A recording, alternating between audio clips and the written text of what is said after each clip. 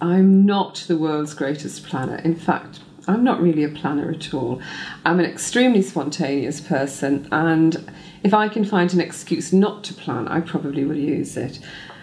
And Graham was absolutely brilliant. Most people, when you're talking about different uh, how to do the business properly and so on and so forth, can be um, exceptionally condescending. I found with you know other outside helpers that we've had, and Graham simply wasn't uh, in any manner or form.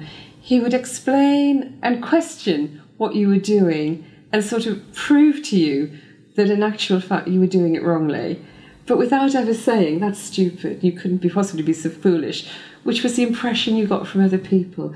And I found I wasn't made to feel at all small.